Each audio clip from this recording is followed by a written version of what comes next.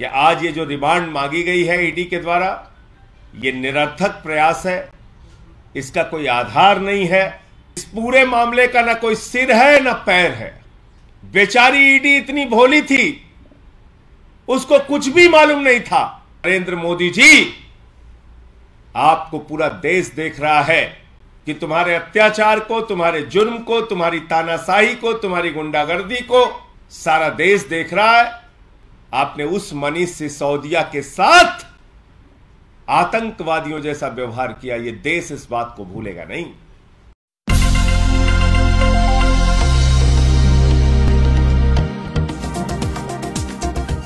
कि आज ये जो रिमांड मांगी गई है ईडी के द्वारा, ये निरर्थक प्रयास है।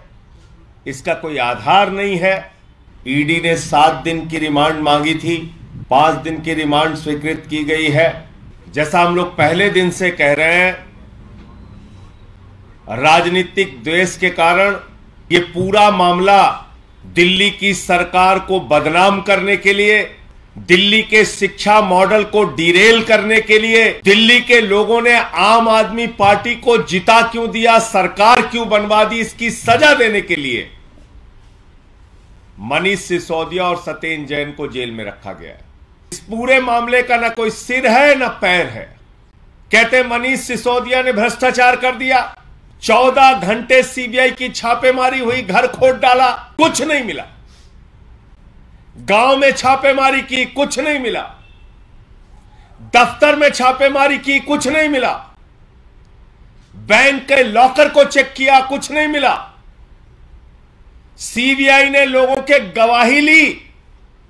और गवाही लेकर पहली चार्जशीट दाखिल की मनीष सिसोदिया का नाम नहीं।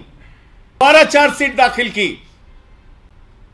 उसमें भी लोगों के गवाह के आधार पर चार्जशीट दाखिल की गई, उसमें भी मनीष सिसोदिया का नाम नहीं। लेकिन जबरन अपने आका के कहने पर सीबीआई ने मनीष सिसोदिया को गिरफ़्तार किया। पहले सीबीआई ने रिमांड ली सीबीआई की रिमांड जब पूरी हो रही थी तो 10 महीने तक हिंदुस्तान की सबसे तेज तर्रार कही जाने वाली एजेंसी ईडी, उस ईडी बेचारी को कुछ पता नहीं था। बेचारी ईडी इतनी भोली थी, उसको कुछ भी मालूम नहीं था। अचानक रातों रात,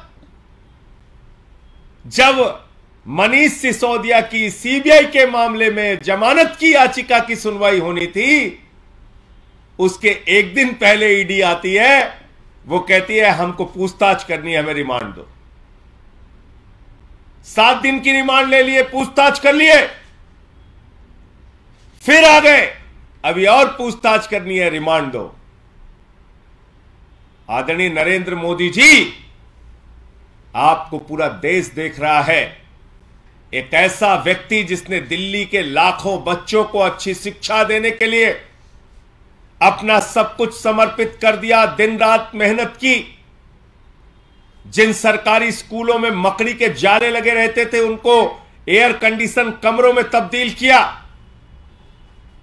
छह साल से लगातार इंटर का रिज़ल्ट सरकारी स्कूलों का, प्राइवेट स्कूलों से बेहतरीन आया।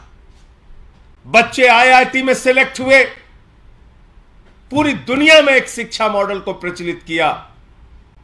आपने उस मनीष सिसोदिया के साथ आतंकवादियों जैसा व्यवहार किया। ये देश इस बात को भूलेगा नहीं। बारह बारह दिन की रिमांड ईडी की, दस दस दिन की रिमांड सीबीआई की। कभी आपने सुना ऐसा आतंकवादियों के साथ भी व्यवहार नहीं किया जाता? जैसा मनीष सिसोदिया के साथ व्यवहार किया जा रहा है। और तब, जबकि कुछ नहीं निकला, भ्रष्टाचार किए होते तो कुछ तो सोना निकलता, संपत्ति निकलती, पैसा निकलता। कहाँ चला गया? तो इसलिए मैं यही कहना चाहूँगा भाजपाइयों को कि तुम्हारे अत्याचार को, तुम्हारे जुर्म को, तुम्हारी तानाशाही को, तुम्हारी गुंडागर्दी को जाँच एजेंसियों के दुरुपयोग को सारा देश देख रहा है। और मोदी जी, आपको इस देश की जनता ने देश का प्रधानमंत्री बनाया। आप अपने उस पद का इस्तेमाल मनीष सिसोदिया जैसे लोगों को प्रताड़ित करने में, उनके ऊपर अत्याचार करने में, उनके साथ आतंकवादियों जैसा व्यवहार करने में लगा रहे हैं। समय आने पर देश की जनता आपको जवाब देगी।